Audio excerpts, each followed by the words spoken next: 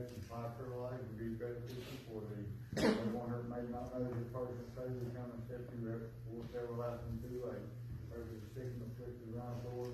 Just Mary Bradley, continue to be with her and bless her and be with her. All the other ones around the Lord. Pray for the lost and pray for all the missionaries, Christian teaching all over the world. Give them, you'll give them for the labor. Be with us, lead, guide, and direct. In Jesus' name we pray, amen. Have you seated? Good afternoon, good afternoon, good evening. It's afternoon for me. Telling some of you, uh, I came in and, and CA looked at me. I was coming through the door he's like, "You just got up, didn't you?" He's like, "Yeah." I had over a four-hour nap this afternoon. I was gone. So, I'm ready to go. No, not really. I can probably go back to sleep. That's the sad thing. Um, it's good seeing you. I want to give you a couple more prayer requests. Continue to pray if you would for Wade Lester. Uh, he had hip surgery. He's in ICU, uh, and uh, I guess he was doing fine. He went through the surgery okay, and he had a fractured hip. They uh, put some uh, pins, I understand, in it. But it was when they gave him his pain medication that he had some problems. And uh, so just pray uh, for him that they can get everything worked out there for him. And then also there's a special unspoken. If you could pray for that situation, individuals not doing well at all and pretty serious condition, very very sick in the hospital, and I appreciate that. Um, but I have just a couple announcements, and I appreciate Mike praying for Mary. Uh, continue to keep her in your prayers, and uh, we need to uh, keep praying for one another. I want to encourage you to uh, try to keep up with visits, phone calls, and different things like that for shut-ins, people that we haven't seen for a little while. Try to follow up with them. Um, and I didn't mention this morning, but our Bible reading challenge, uh, the adults won for the month of February. So good job, adults. Uh, young people, you can get it next month. So I appreciate y'all doing that and working so hard. And uh, but let's. The whole goal of this was basically just to do something fun to get God's word in our heart. And uh, and then if you would be uh, praying about something else. Uh, I was just thinking as I was getting getting ready for church and trying to rush to get over here.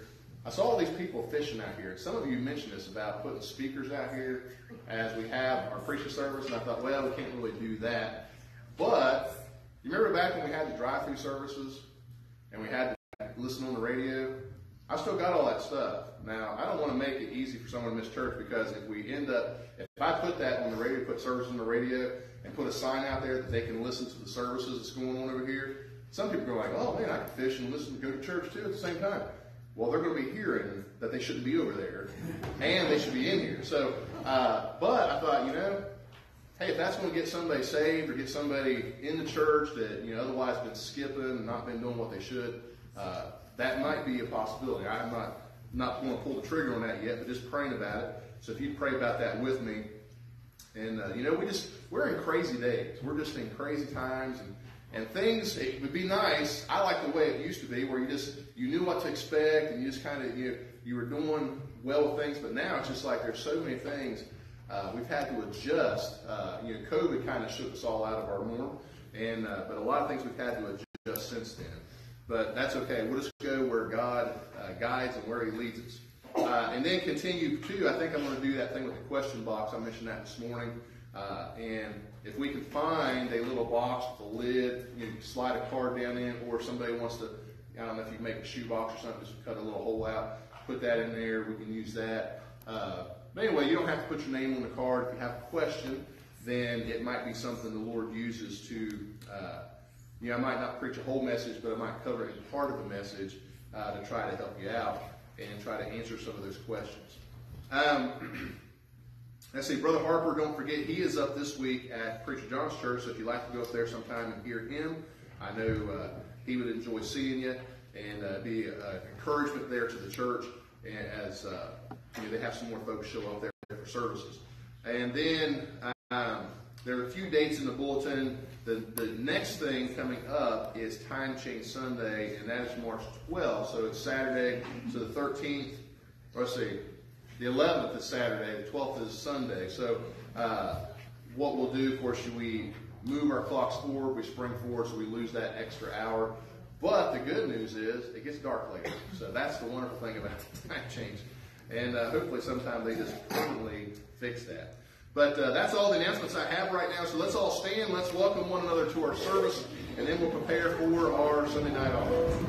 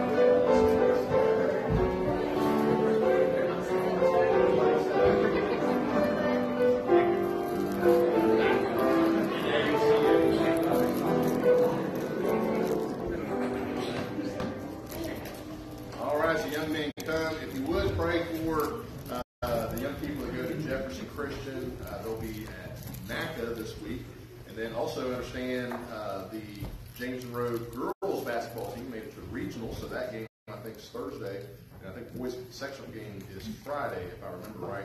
But uh, a lot of things going on with our young people, so just pray for them that God will get them all a good week. So the men have come. I appreciate Billy. Glad to see him back. But I'm not going to call him. He asked me not to call him to pray, so I'm not going to. So I'm going to ask Trent if he would.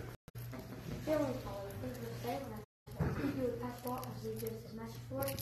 Please be with this offering. Um, please be with um, everyone that uh, came out here, Lord. Thank you for them and um, safety as they come and um, Amen. Thank you, baby.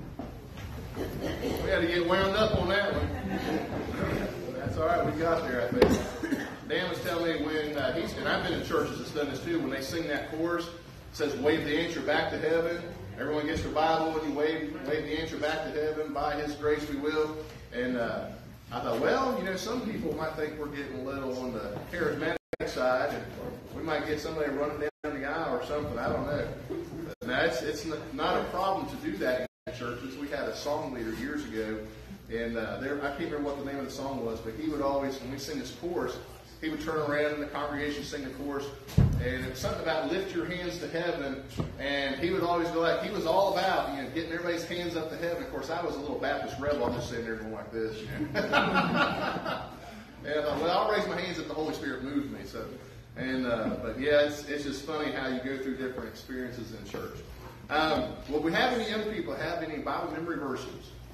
We got a few. Come on up.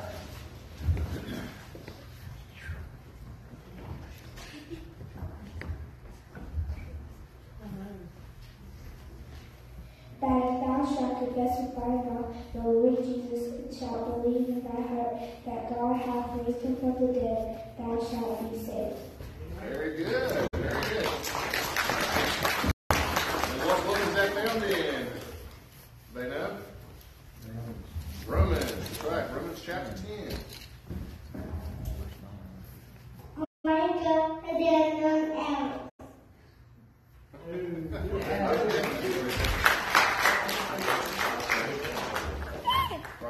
God and there is none else. Good.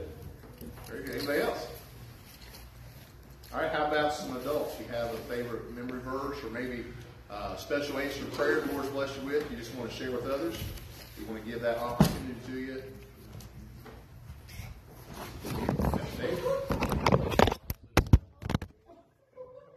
There I went. Let your light so shine before men that they may see your good works and glorify your prosper. Amen. Good. Now that the Facebook crowd's rejoining us here, some of them probably got sick on that one. I have. That's all right. Anybody else? Yes. We promised them to church back in before the food and watch it. Amen. Well, praise the Lord. Glad to be able to do do something with that. And I didn't let you know this this morning, but we had a couple decisions at the funeral service, and praise the Lord for that. And uh, we want God to be all forward for those things. Sometimes, you know, people just, it might have been somebody was saved and they just, you know, needed some reassurance. You never know. But uh, that's just a tremendous time to get the gospel out is, uh, you know, funeral service. So glad to be able to have a part in that. Anybody else? All right, good. We have a special event? Okay. All right, well, we'll go ahead and have our special then. Ladies on top. Ladies on song, come on up.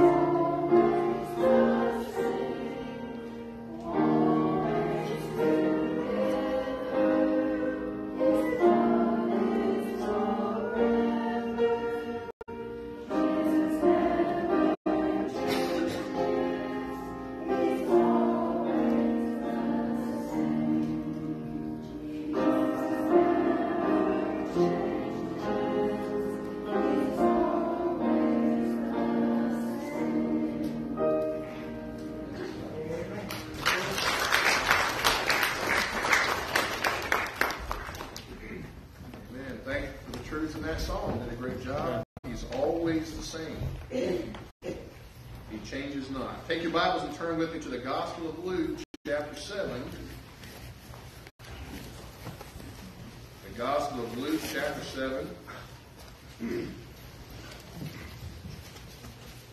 It's a little bit of a different kind of message, basically just one thought I want you to think about here tonight. And we see this uh, truth kind of illustrated here in this passage of Scripture in Luke chapter 7. And we'll be looking at the end of the chapter. And then there's also, uh, there's three other passages. We're not going to look at all the passages. One other passage we're going to actually look at. Uh, might have you look at one verse in one of the passages, but they're all in the Gospels. It's about another story and something we don't often think about. But hopefully, this will be a help and a blessing to you and get you to think about some things about how much we love the Lord. You know, everybody thinks that, you know, and I think we're all this way, say, yes, I love God, I love God. And you remember where Jesus asked Peter there in uh, John chapter 21, and he said, you know, Simon, son of Jonas, lovest thou me more than these? And he actually asked him three different questions. He said, Simon, son of Jonas, lovest thou me more than these? And he said, Simon, son of Jonas, lovest thou me? And Simon, son of Jonas, lovest thou me? And you say, well, that doesn't sound like a question. Well, when you study the scriptures, it actually is three different questions. The first time he said, do you agape? That's the type of love God has for us. He said, do you agape thou me more than these? The second time he said, do you just agape thou me? And the third time, Peter kept answering every time. He said, Lord, thou knowest I phileo thee. Phileo is the Greek word for a brotherly love or a family type love. That's where we get the uh, the name of Philadelphia, the city of brotherly love. It's from that Greek word phileo. And uh, Peter kept answering back, Lord, thou knowest that I phileo thee. And then the Lord finally asked him the third time and said, Simon, son of Jonas, phileo thou me. Do you even love me like that? And Peter was grieved in his heart, and I think it finally registered with him what the Lord was doing. But God was trying to restore Peter back to the position he had as the leader of the disciples before. But he also wanted Peter to reflect on some things. And uh, that's what I think God has for us here tonight. It's for us to reflect on some things about how much we love the Lord. Do we love him much or do we love him little? Luke chapter 7 and verse 36 says, And one of the Pharisees desired him that he would eat with him. And he went into the Pharisee's house and sat down to meat. And behold, a woman in the city, which was a sinner, when she knew that Jesus sat at meat in the Pharisee's house, brought an alabaster box of ointment, and stood at his feet behind him weeping, and began to wash his feet with tears, and did wipe them with the hairs of her head, and kissed his feet, and anointed them with the ointment. Now when the Pharisee which had bidden him saw it, he spake within himself, saying, This man, if he were a prophet, would have known who and what manner of woman this is that toucheth him, for she is a sinner. And Jesus answering said unto him, Simon, I have somewhat to say unto thee. And he saith, Master, say on.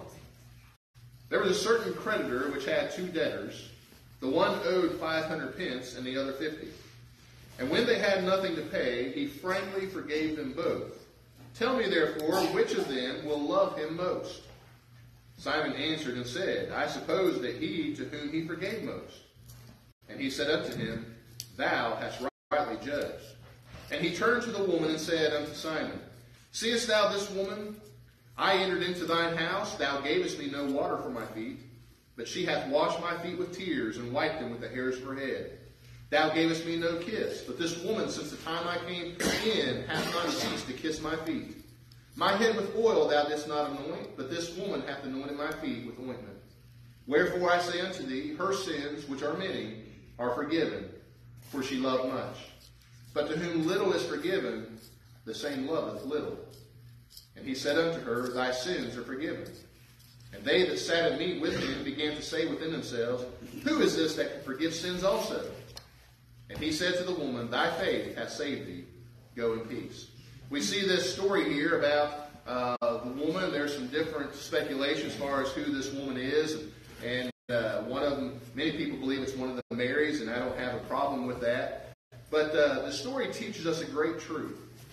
And we know the Pharisee here is a Pharisee by the name of Simon.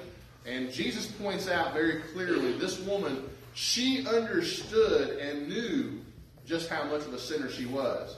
And that is what changed everything about her response to Jesus Christ. Now, Simon, the Pharisee, was just as much a sinner. He was just as wicked. The only problem is he didn't realize it.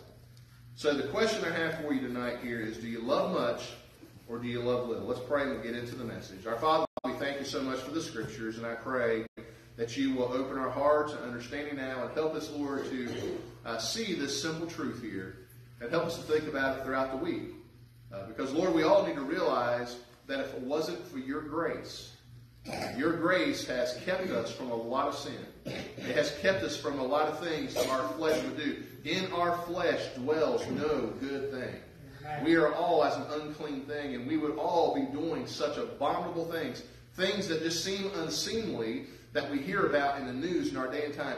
That is what we are all capable of. But if it wasn't for your grace, Lord, that would be us. We would go that same way. And so, Father, we thank you for your love. And we pray that you help us to be appreciative of that love, that we might love you much. In Christ's name we ask these things. Amen. Well, Jesus says something interesting here in verse 47. He basically says that somebody who has been forgiven much loves much, but somebody who has been forgiven a little loves little. Now, this is not really talking about the quantity of their sins. You've been like I have. You've heard some testimonies over the years as people would stand up in church and give their testimony. And, and uh, as you're sitting there, if you grew up in a Christian home and you basically were you know, dragged to church your whole life and, and uh, you made to come and made to go to Sunday school, and you have not experienced probably a lot of things that some people have experienced. And you hear some people give testimonies how God saved them out of drugs and alcohol, and they were on the street and they were homeless, and God rescued them. And you hear some tremendous testimonies, and oftentimes, if we're not careful, we think, man, what a tremendous testimony that is. I wish I had a testimony like that. I'm here to tell you, you do have a testimony like that. Because if it wasn't for God's grace, that would be you. Right. You see, we have to realize what our flesh is capable of. And Simon here was in a position where he didn't realize just how wicked and vile his flesh was. He was very comfortable with where he was at in life. He was one of the religious crowd there, the Pharisees, and they would all gather around, and people would look at them as being the spiritual leaders.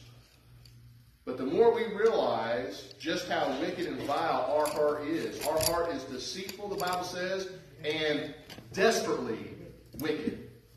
When we understand that truth, we have a much greater appreciation for the love of God and the forgiveness of God. And that's what this woman experienced here in this passage. Now, I want you to see a couple other stories here. This is not a three point outline. This is not, you know, boom, boom, boom, this and that. It's just a thought I want to try to drive home to you. So, the first place I want you to turn, we're going to be back here in Luke 7 at the end in just a second. So, turn, if you would, to Matthew chapter 8.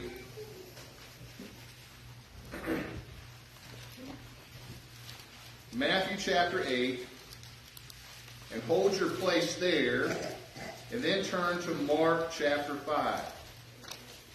Now, there's one other passage, we're not going to look at this passage, that these, the passage in Matthew 8 and Mark chapter 5, and also in Luke chapter 8, these are what we call parallel passages.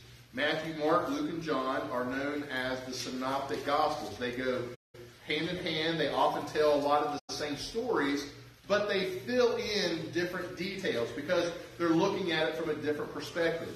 And you sometimes can't get the whole story until you read the account in all three places. Now, before we look at Matthew 8, I want you to see the passage here in Mark chapter 5. This is the demoniac of Gadara. Now, we've been preaching on Wednesday night about angels.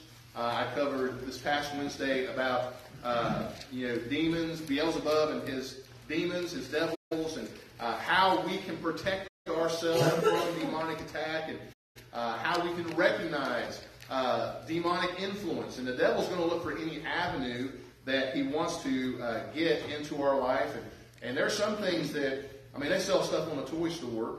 You see them, there's some things in uh, a lot of Disney movies are going to have these types of themes, and you have to be very careful. You say, well, Disney movies? Yes, Disney movies. I'm telling you, the devil's very deceitful with what he does, and he tries, he's so very subtle.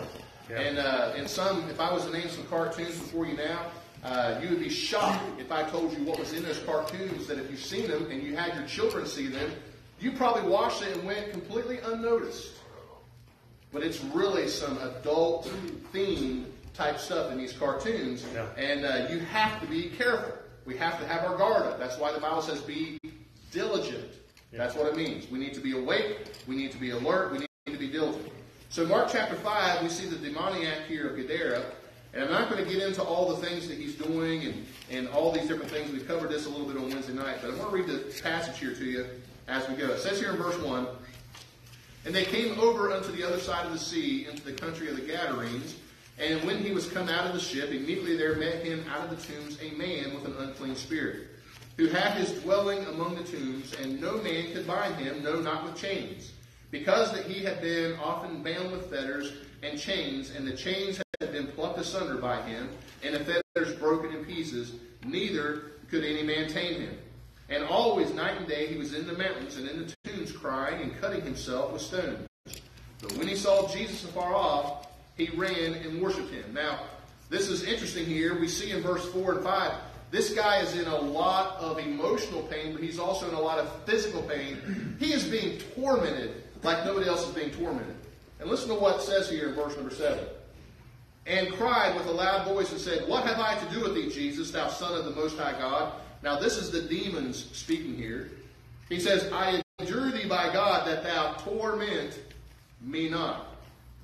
Now, this is what's coming out of this guy's mouth, but these are the demons speaking here. This guy is already tormented by these demons, and these demons are begging and pleading that Jesus not torment them the same way they're tormenting this poor man. It goes on here in verse 8. For he said unto him, Come out of the man, thou unclean spirit. And he asked him, What is thy name? And he answered, saying, My name is Legion, for we are many. Now, some people have speculated there was probably about 10,000 demons in this one individual. That's what Legion means. It's a lot of lot of people, and you will find out there were at least two thousand here in just a minute. So it goes on verse ten, and he besought him much that he would not send them away out of the country. Now there was there nigh unto the mountains a great herd of swine feeding, and all the devils besought him, saying, Send us into the swine, that's the pigs, that we may enter into them. And forthwith Jesus gave them leave, and the unclean spirits went out and entered into the swine. And the herd ran violently down a steep place into the sea. They were about 2,000 and were choked in the sea. So we know there were at least 2,000 demons because there were 2,000 pigs. Okay? And they and they that fed the swine fled and told it in the city and in the country, and they went out to see what it was that was done. And they come to Jesus and see him that was possessed with the devil. Here's the change that this made. And he that had the legion sitting and clothed and in his right mind. And they were afraid. Now that's an interesting phrase to me because they weren't afraid before. This guy is cutting himself. He's crying out in the tombs. People they try to put chains on him. He's breaking the chain. They weren't afraid of that, but now they're afraid. It's interesting to me. Verse 16, and they that saw it told them how it befell to him that was possessed with the devil, and also concerning the swine. And they began to pray him depart out of their coast. And when he was come into the ship, he that had been possessed with the devil prayed him that he might be with him. Now, this is the guy who had been healed. He had the demons cast out of him. The thing that he is begging and pleading with Jesus is, please let me just be with you. He just wants to be with Jesus. This guy loved the Lord. He was thankful for what God had done in his life. And Jesus says this here in verse 19, Howbeit Jesus suffered him not, but saith unto him, Go home to thy friends, and tell them how great things the Lord hath done for thee, and hath had compassion on thee. And he departed. He was obedient. He departed and began to publish in Decapolis how great things Jesus had done for him, and all men did marvel. Now, we're going to be back in this story in just a second, but there's only one verse I want you to look at in Matthew chapter 8. This is a parallel passage here to the story. So in chapter Mark chapter five, and the same thing in Luke chapter eight, we only see, and we didn't look at the passage in Luke eight, but we only see there was one man who this had happened to. But in Matthew chapter 8, look if you would in verse 28. It says, And when he was come to the other side into the country of the Gergesenes, there met him two possessed with devils coming out of the tombs, exceeding fierce, so that no man might pass by that way. And then if you read on down to the end of the chapter, you're going to see a very similar story of what just took place. But the one thing we see that's different is in Matthew chapter 8, there were two individuals that were possessed with all these demons. In Mark, in Mark chapter 5 and Luke chapter 8, we only see one individual, and there's a reason we only see the one individual. There's a reason the attention and focus in Mark 5 and Luke 8 is only on this one individual. And here's the reason it's because of the change it made in his life. It's what he did afterwards. That is where the attention is drawn in the story. And that is mentioned in both Luke chapter 8 and also in Mark chapter 5 that this man, he couldn't keep his mouth closed. He was so thankful to be with Jesus. He wanted to be with Jesus all the time, and Jesus said, No, I want you to go out. I want you to publish this, tell your friends, tell your family. And he went out and did this, and we're going to see a change that not only was taking place in his life, but in the lives of many others. You know why? Because this man loved much. This man was appreciative. The other guy, we don't know much about him. I would say the demons were cast out of him as well, but he's out of the picture now. You remember the, the story of the, two, of the ten lepers that were cleansed? And Jesus healed the ten lepers, and they all left, and then there was one, only one, that came back to basically say thank you. And Jesus asked, He says, Were there not ten of you? Where are the other nine? You see, there was one who loved much because he realized what had happened to him. The other nine were probably thankful, but they didn't love that much. They loved little. It's not that they didn't love the Lord. They were probably very thankful, but not like that one individual.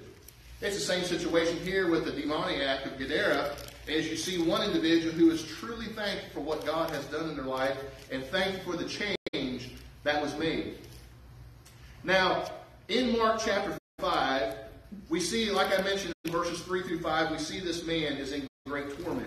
In verse 7, the demons cry out for Jesus not to torment them. And we know, again, there were at least 2,000 demons in this one individual.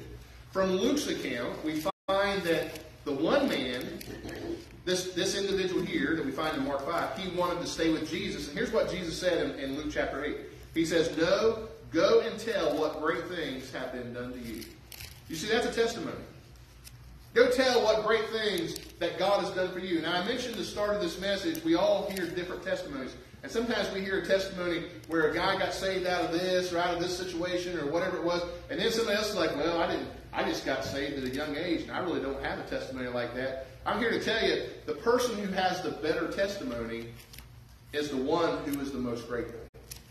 The one who realizes the most what God actually saved him out of. One of the best testimonies I ever heard in my life is a testimony of Brother Scott Polly. Brother Scott Polly has never tasted alcohol. Ever. He's from a preacher's family. His dad's a preacher. His uncles are preachers. Uh, he's just he's got them all throughout his family. He was he was brought up in a Christian home. He got called to preach at an early age. God's hand was on him at an early age, but his lips had never touched alcohol. He had never touched drugs. He had never done a lot of things. He's been faithful to church his whole life. And as he gives his testimony, I'm sitting there going, wow, what a testimony. I don't have that type of testimony. God had to shake me up, slap me around, throw me against the wall, do everything He could to get my attention before I would come to Him. Then I finally yielded and finally surrendered. Some people might hear a testimony like I have and think, wow, that's a great testimony. But I'm here to tell you if you are thankful for what God has done in your life, and you are grateful, and you understand what God actually saved you from, you have the tremendous testimony. I'm thankful God didn't allow me uh, to be dead by the time I was 25. And that was very plain to me. I wasn't in church, I wasn't in the Bible, but it was just like there was something inside of me. And of course, I was saved at this time, but I didn't understand all this that happened. But it, I knew it was like a voice that said, You're going to be dead by the time you're 25 if you don't change something. I knew something had to change. You see, I realized what God brought me from. I realized, and I used to think, Lord, I'm so unworthy to do. I'm so unworthy to serve. I'm so unworthy to uh, just be able. And what a privilege it is to serve the King of Kings and Lord of Lords. But to be able to open the doors in church for somebody else and to be able to be a part of something, be able to teach a Sunday school class. What a privilege! Because I know this wretched man that I am. And it was God who's delivered me from the body of this death. And as Paul said, and Paul was so thankful for what God had done in his life, he said, For I am chiefest of sinners. And he also said this, that in my flesh dwelleth no good thing. I'm here to tell you, if we understand exactly where our flesh would take us, if we just let go, and, and this is why this is important for you young people. You better not make provision for the flesh to fulfill the lust thereof, because your flesh will take you farther than you ever thought you would go. And it's going to keep you longer than you ever thought you would stay. And it's going to cost you more than you ever wanted to pay. That's what sin does. Yeah.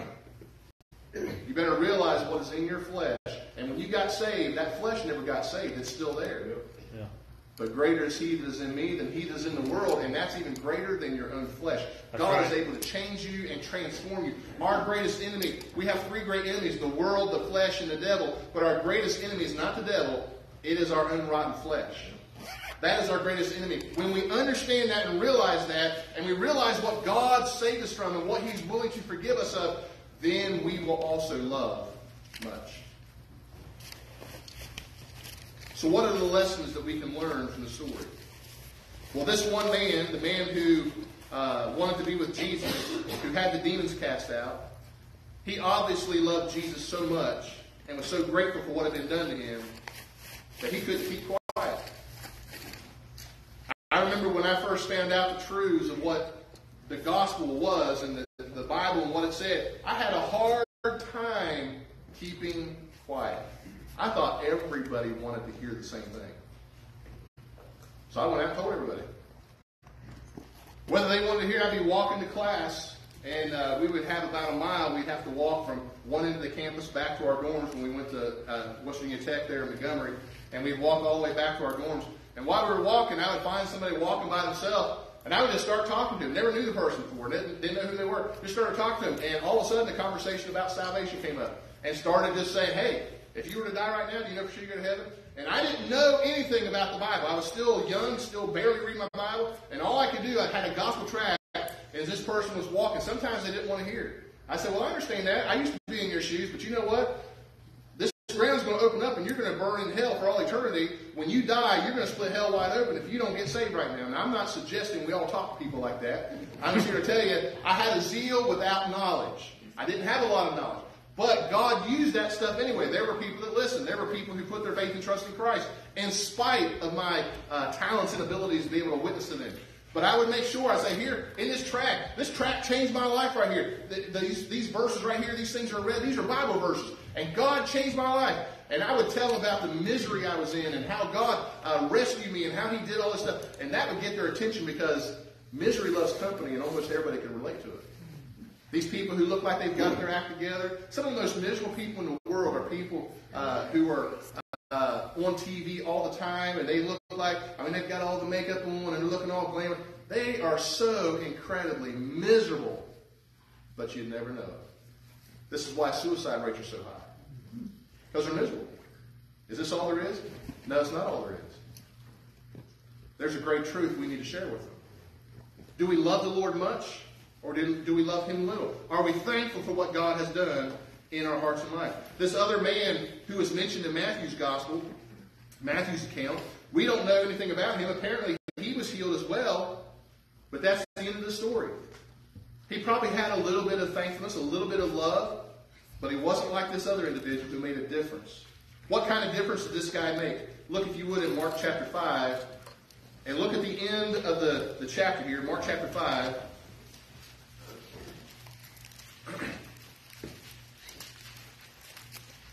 And verse number, uh, after Jesus says, Go home to thy friends, in verse 19, and tell them how great things the Lord hath done for thee, and hath had compassion on thee. Listen to what he does. He obeys, he departed, and began to publish in Decapolis. Now, you don't see this name of the city mentioned in Luke's gospel. You see that he went back and he told it in his city. But this name Decapolis is not the name of the city he went to. Decapolis actually means ten cities.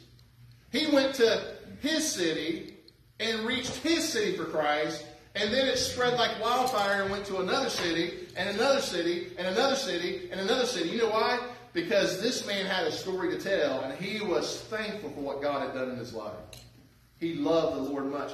And there were 10 cities that were influenced and impacted because of this one man's testimony. Now go back, if you would, to Luke chapter 7 as we wrap this up to our story we started with, with the Pharisee and this woman who was wiping Jesus' feet with her hair and the tears she shed from her eyes. Now you may not have a lot of emotional things that happen to you in life because emotions don't mean you get saved. Emotions don't mean that you surrender to the Lord. You can have emotions. You can come forward in the service and you can cry and say, Oh, you God, please forgive me. I surrender everything to you. You can do that, but you may come and not have any emotions at all, and you just may do business with the Lord. I remember my brother in law when uh, he first surrendered to Christ, and uh, we've been praying for salvation for a long time. He got saved, but he just wasn't growing in the Lord. He wasn't uh, he was faithful to the church, but he just wasn't completely surrendered to the Lord. And we had a guy come in, I think it was uh, Brian McBride, if I remember correctly, who came in and he preached about fathers and the influence on their sons. Now, my brother-in-law had an oldest boy. Uh, I think he was about maybe 10 or 11 at the time. And, uh, and then they had a little girl, uh, a couple years younger than that, and that was all they had. And they sat up here on the second pew in the front of the church, and we sat on the second pew over here in the church and then everybody just kind of filed in behind.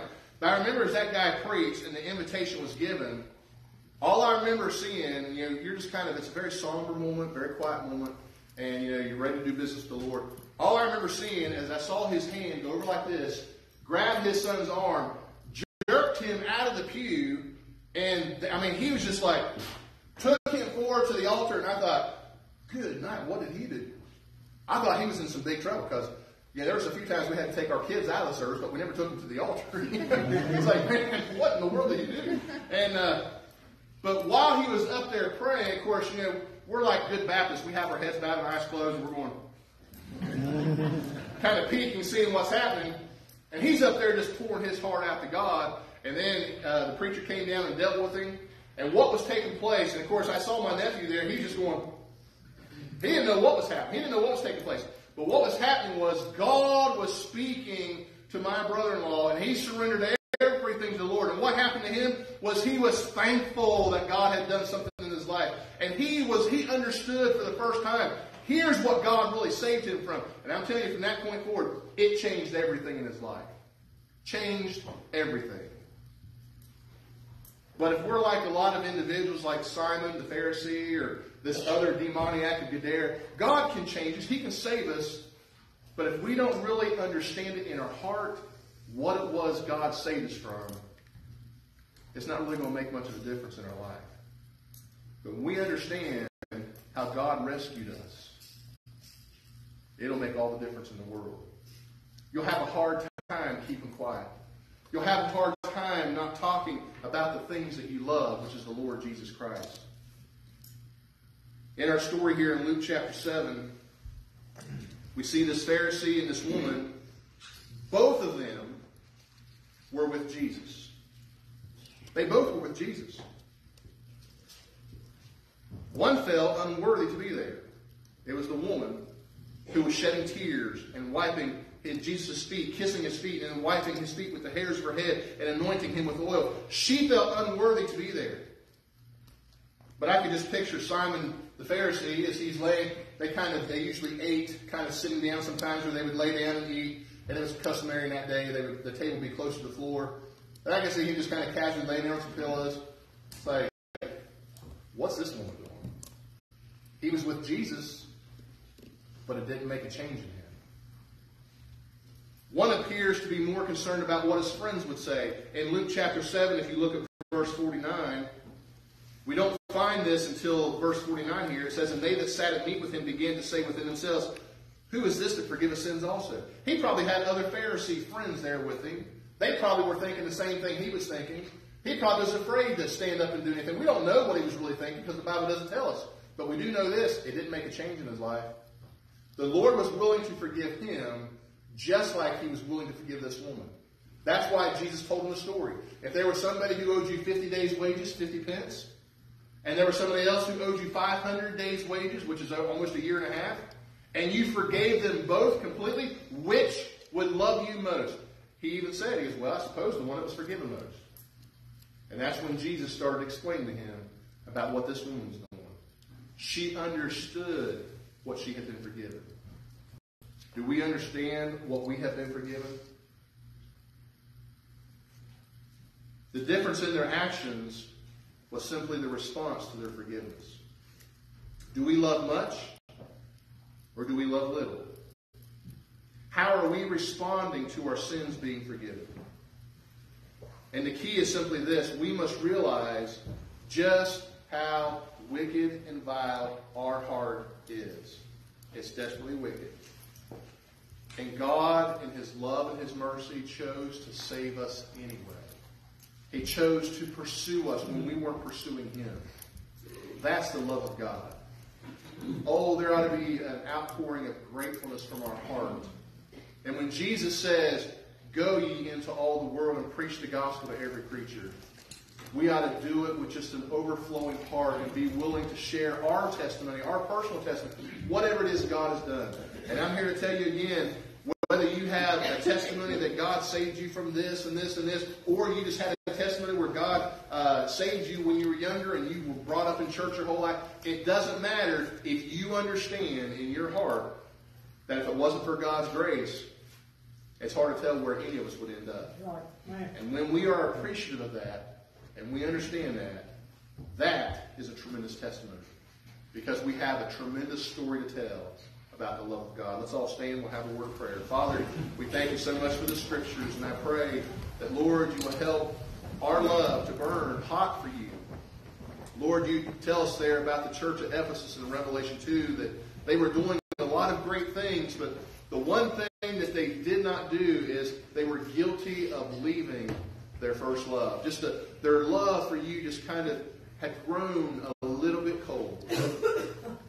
Lord, I pray that you might awaken us. Help us to be diligent about our lives and help us to realize exactly what you have saved us from. Lord, if there's one here who does not know Jesus Christ as a Savior, we pray that he'll get that settled tonight. But Lord, for those of us who are believers, I pray that we will be so grateful. We will be like this demoniac of Gadara that, Lord, we'll just want to spend all of our time with you. We'll want to spend our time at your feet. But Lord, we know right now we're here in this world. This world is not our home. You're going to prepare a place for us, but you want us to go and tell our friends and tell our neighbors and tell our family members what great things you have done for us. So, Lord, we can have an impact in this world in which we live. Help us, Lord, to do these things. Help us to be grateful for these things. Father, we ask and pray you bless now in this invitation time. In Christ's name we ask it. Amen. 249. 249, as we sing a few verses, God spoke to you, won't you come? You have a decision you'd like to make, this is the time to do it. You can come pray at the altar, or you can come for some other reason if you'd like to. 249.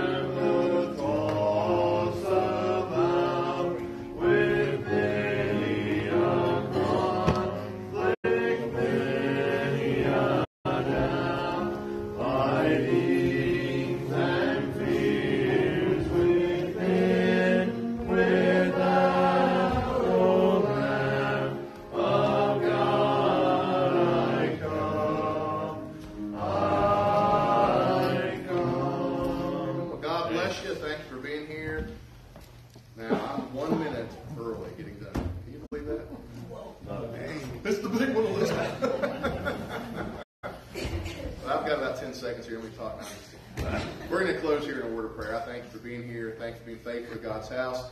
And let's be grateful for what God has done in our hearts and lives. Let's love Him much because He's worthy of all of that love. So let's close here in a word of prayer. I'm going to ask Dave King if he'd mind dismissing in prayer for us, please. Heavenly Father, we praise you, we thank you for all the blessings of life. We thank you for answering prayers, dear Father, for all you do for us. We take this time to ask you to be with the sick and afflicted about us, Mary Bradley, and many more, dear God, who need special prayer at this time. We ask you to bless and be heard in your name. And be with the bereaved, dear God, comfort and heal their hearts. Be with the church, Father, be with every activity and every function, dear God, of every person that works in it. Please encourage, bless, and take care of them. Be with Walt as he shepherds. Give him all the tools that he needs, dear God, and strengthen and encourage him and help him. We with the revival of Preacher John's church. God, may that be successful and souls be